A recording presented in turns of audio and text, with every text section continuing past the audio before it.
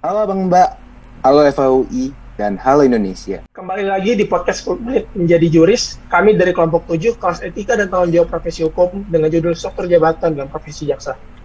Nah, kenalin, nama gue Sidi yang akan jadi host untuk sore hari ini. Dan gue Adi yang juga akan menjadi host pada kesempatan kali ini.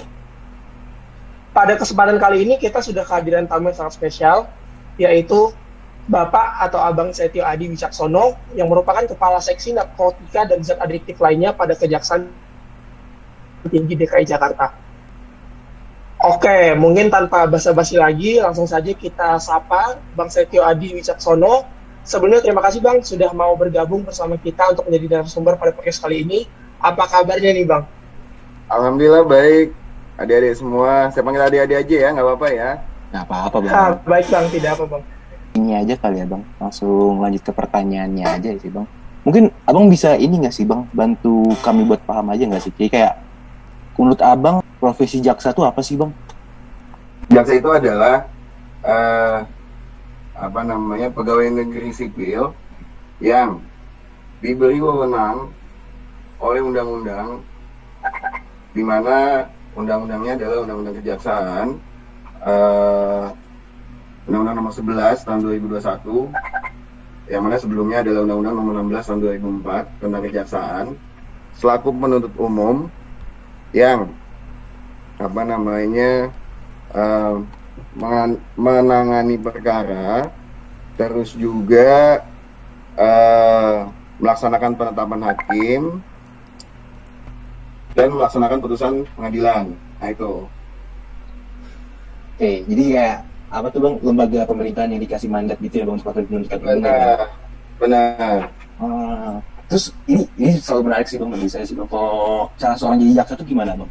Cara untuk kalau cara, menjadi jaksa cara menjadi jaksa itu harus sarjana hukum. Yang awalnya itu memang harus sarjana hukum. Jadi setelah lulus dari SMA lalu kuliah fakultas hukum lalu uh, apa namanya mengikuti tes CPNS Kejaksaan Republik Indonesia Kejaksaan Agung Republik Indonesia. Lalu uh, nantinya uh, setelah dia masuk nih misalkan masuk udah masuk terus satu tahun diangkat menjadi PNS lalu uh, berikutnya mengikuti namanya apa pembentukan pendidikan dan pelatihan jaksa. Itu adanya di Ragunan. Gitu kan? Nah itu uh, kami itu uh, sebagai jaksa itu untuk menjadi se seorang jaksa itu pendidikannya selama enam bulan nantinya di Badiklat itu Badan Diklat Kejaksaan Agung Republik Indonesia adanya di Ragunan. Baik. Dan benar juga nggak bang kalau ada semacam tes jasmani fisik gitu bang saat pendidikan ya. itu? Ya, jadi gini pada saat dia sudah PNS lalu nanti karena jadi pada saat masuk itu CPNS sekaligus calon jaksa. Nanti setelah itu dia uh, pada saat akan masuk diklat tersebut di badiklat, dia harus mengikuti proses namanya itu dia kesehatan jasmani dan rohani. Karena memang sekarang uh, Pak Jaksa Agung uh, ingin uh, insan adiaksanya adalah atau jaksa-jaksanya adalah jaksa-jaksa yang uh, masih muda, mumpuni, profesional, dan berintegritas. Baik, uh, kemudian nanti ketika kita sudah selesai diklat ini, bagaimana sih bang gambaran struktur jabatannya yang ada pada kejaksaan dan tahapan step by stepnya bagaimana? Apakah kita mulai dari TU atau mungkin kita sudah bisa langsung menjadi penuntut umum begitu? Ya jadi kalau misalkan ada namanya istilahnya TU TU itu adalah tata usaha. Tata usaha itu dimulai dari pada saat uh, saya misalkan saya masuk di kejaksaan sebagai CPNS itu biasanya kami ditempatkan oleh pimpinan itu sebagai staf tata usaha. Staf, tata usaha ini adalah menyiapkan segala administrasi uh, persuratan yang ada di lingkungan Kejaksaan Agung Republik Indonesia. Itu dari tingkatan Kejaksaan Agung, Kejaksaan Tinggi, maupun Kejaksaan Negeri. Tergantung di mana uh, si CPNS ini atau calon jaksa ini uh, mendapat penempatan pertamanya. Gitu. Nah kalau misalkan terkait apa struktur jabatannya, kalau untuk di tingkatan kejaksaan negeri di situ ada eselon 5. Eselon 5 itu uh, contohnya kalau untuk uh, staff atau tata usaha itu dia ada kaur kepala urusan contohnya terus bendahara itu juga termasuk juga terus tapi kalau untuk yang di bidang teknis bidang teknis ini kan kami ada namanya uh, bidang apa namanya pidum tindak pidana khusus terus ada intelijen terus ada perdata dan tata usaha negara di situ untuk pejabat eselon limanya adalah uh, kasubsi itu hanya ada di kejaksaan negeri nah, kalau seperti saya di kejaksaan tinggi eselon limanya tidak ada kalau sekarang. Dimulai dari saya yang paling bawahnya itu adalah kasih kepala seksi. Di setiap bidang itu ada.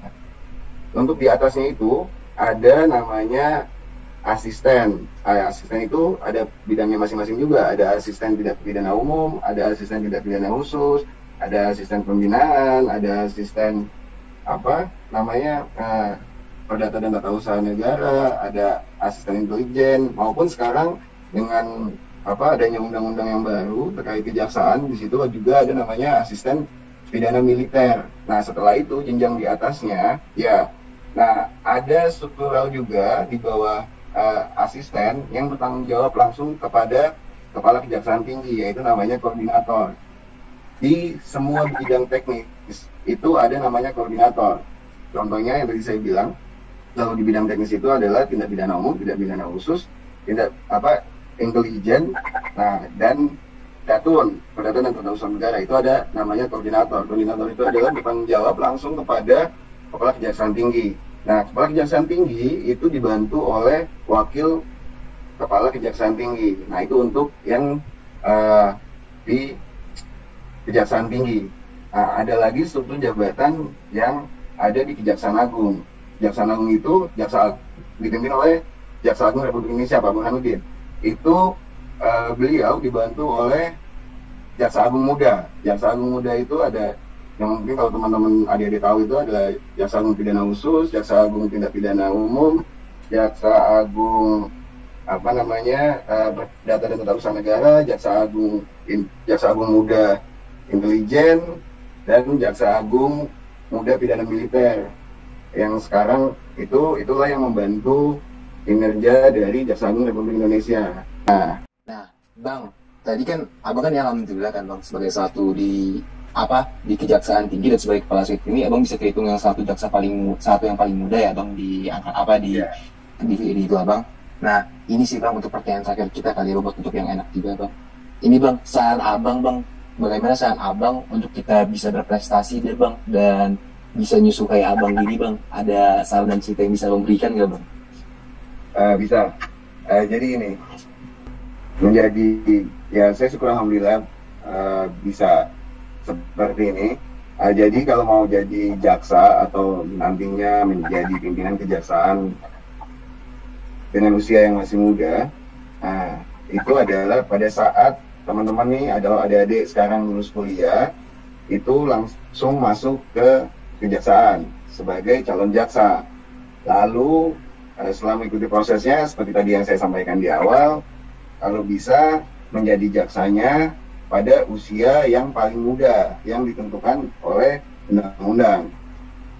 In, saya boleh ngomong, ya intinya bekerja dengan baik, pasti pimpinan akan uh, memperhatikan kita sehingga kita dianggap mampu dan diberi amanah oleh Tuhan melalui pimpinan kita sehingga kita uh, dapat sukses berkarir di institusi atau dalam pekerjaan kita itu dia. Baik, mungkin kalau saya izin menyimpulkan bahwa saran dari Bang Setio Adi nih terkait bagaimana anak hukum yang ingin menjadi jaksa, khusus dengan uh, jenjang karir yang step by stepnya relatif cepat seperti Bang Setiadi adalah tadi pertama ikut menjadi PNS calon jaksanya usahakan pada secepat mungkin pada usia paling muda kemudian uh, mengikuti PPJ-nya juga diusahakan agar pada usia semuda mungkin ya. dan untuk Bang Seti Adi itu ikutnya pada umur 25 begitu Iya, alhamdulillah. Itu. Nah, mungkin jawaban dari Bang Seti Adi itu juga sekaligus menutup podcast kita pada episode kali ini uh, semoga informasi yang disampaikan oleh Bang Setiadi tadi dapat memotivasi kita dapat uh, memberikan perspektif baru juga mungkin bagi masyarakat terutama pada bagian awal tadi kita sempat udah bahas tentang bagaimana profesi jaksa itu dan uh, memberikan sebuah efek positif lah bagi bagi kami mahasiswa dan mungkin bagi orang-orang calon jaksa serta masyarakat umum di luar sana. Ya. Sekali lagi bang, saya ingin mengucapkan terima kasih sudah mau meluangkan waktunya. Untuk penonton di luar sana jangan lupa stay tune terus di podcast 10 menit menjadi yuris kita Jangan lupa komen, like, dan subscribe karena nanti bakal ada episode-episode seru lainnya yang tidak kalah keren, keren cadas, tidak kalah berdaging. Sampai jumpa.